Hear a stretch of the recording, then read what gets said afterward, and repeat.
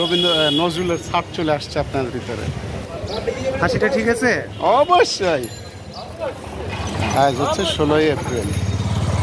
হুম, দুই হাজার বাইশ শনিবার।